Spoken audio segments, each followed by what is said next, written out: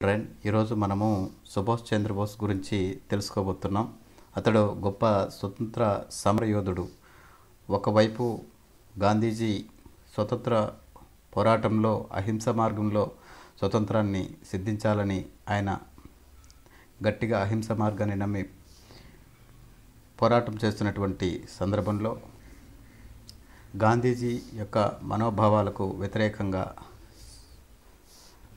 నేతాజీ సుభాష్ చంద్రబోస్ సాయుధ పోరాటంలో అంటే సైనిక శక్తి ద్వారా ఆంగ్లేయులను యుద్ధం చేసి ఓడించి భారతదేశానికి స్వతంత్రాన్ని సాధించాలని కలలకన్నటువంటి మహా పోరాట యోధుడు సుభాష్ చంద్రబోస్. సుభాష్ చంద్రబోస్ యొక్క బాల్యం గురించి ముందుగా తెలుసుకుందాం. సుభాష్ చంద్రబోస్ పద్దెనిమిది వందల తొంభై ఏడు జనవరి ఇరవై మూడవ తేదీన భారతదేశంలో ఉన్నటువంటి ఒరిస్సా రాష్ట్రంలోని కటకపట్నంలో ఒక ధనిక కుటుంబంలో జన్మించారు. అతని తండ్రి జానకీనాథ్ బోస్ తల్లి ప్రభావతి దేవి. ఈయన విద్యాభ్యాసం ప్రాథమిక విద్య కటక్లోను తరువాత కలకత్తాలోని స్కాటిచ్ సెర్చ్ కళాశాలలోను ఫిట్స్ విలియం కాలేజీలోను ఆపై చైతన్య యూనివర్సిటీలోను జీకే యూనివర్సిటీలోను ఈయన విద్యను అభ్యసించారు. సుభాష్ చంద్రబోస్ పంతొమ్మిది వందల ఇరవై సంవత్సరంలో భారత సివిల్ సర్వీస్ పరీక్షకు హాజరై నాలుగో ర్యాంకులో నిలవడం జరిగింది. ఆ తర్వాత భారత సివిల్ సర్వీస్ను కూడా ఆయన త్వజించి భారత స్వతంత్ర సంగ్రామంలో పాల్గొన్నాడు.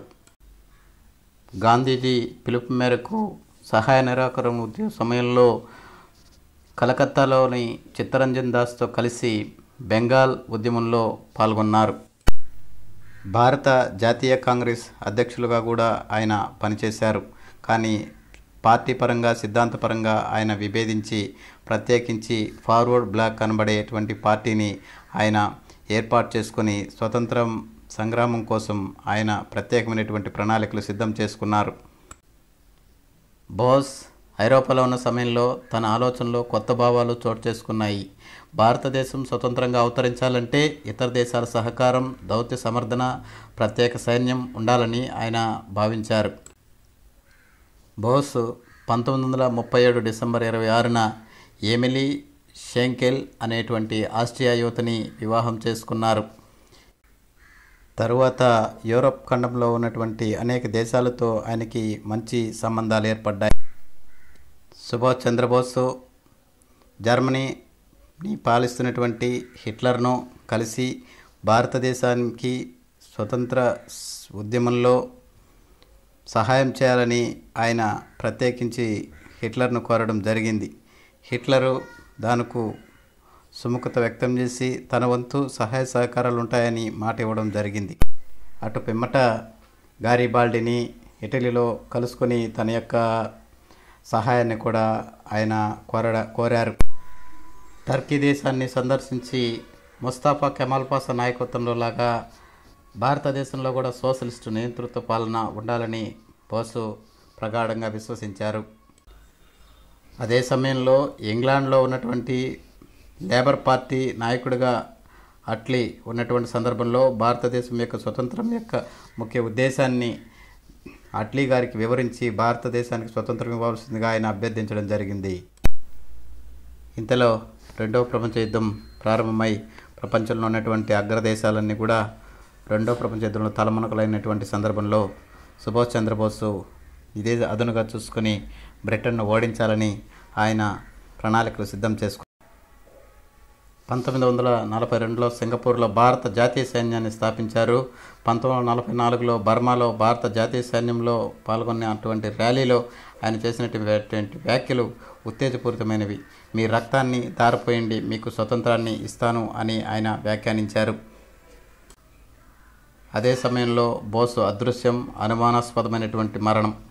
బోస్ ఆగస్టు పద్దెనిమిది పంతొమ్మిది నలభై ఐదులో తైవాన్ మీదుగా టోక్యోకు ప్రయాణిస్తుండగా విమాన ప్రమాదంలో మరణించాడని అని ఆనాటి పత్రికలు సమాచారం అయితే సుభాష్ చంద్రబోసు ఏ విధంగా మరణించాడనేది నేటికి కూడా తేలనటువంటి అంశము.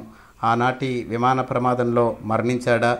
లేక బతికే ఉన్నాడా? అనేది నేటికి కూడా అనుమానాస్పదమైనటువంటి అంశమే. సుభాష్ చంద్రబోసు మరణించాడా? లేదా? అనేది ఒక మిస్టరీగా మిగిలిపోయినటువంటి అంశమైతే ఆనాటి పత్రికల్లో సుభాష్ చంద్రబోస్ మరణించాడని ఒక పక్క పత్రికల్లో వస్తున్నటువంటి సమాచారంను ఉంటే ఇదిలా ఉండగా పంతొమ్మిది వందల ఎనభై ఐదు వరకు కొన్ని అనుమానాలు రేకెత్తించినటువంటి అంశాలు చాలా ఉన్నాయి. అయోధ్య దగ్గరగా ఉన్నటువంటి ఫైజాబాద్లో నివసిస్తున్నటువంటి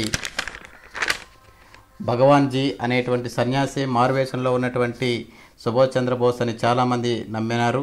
తర్వాత ఇది కూడా తప్పని తేలడంతో సుభాష్ చంద్రబోస్ ఏమైనాడనేది నేటికి కూడా ఎవరికి అర్థం కానటువంటి విషయం ఏదైనప్పటికీ మనమందరం కూడా సుభాష్ చంద్రబోస్కి సెల్యూట్ చేయాల్సినటువంటి నిజమైనటువంటి హీరోగా మనము కీర్తించాల్సినటువంటి అంశం. ఇట్లు మీ చిరంజీవులు శ్రీకాళహస్తి చిత్తూరు జిల్లా ధన్యవాదాలు.